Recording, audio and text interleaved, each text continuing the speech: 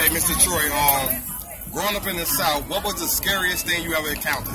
The scariest thing I ever encountered was the Ku Klux Klan come on your front lawn and bring a cross. They got a cross and they plant it down in your front lawn and light it and walk around Wow. and tell you to get out of town Like a circle. like a circle.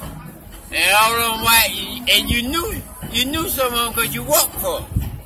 Wow. So they, you knew it was them, but they had their hoodies They on. had the hoodies on. What, when you saw these people out your window, what, what were you doing? What would your grandmother tell you to do?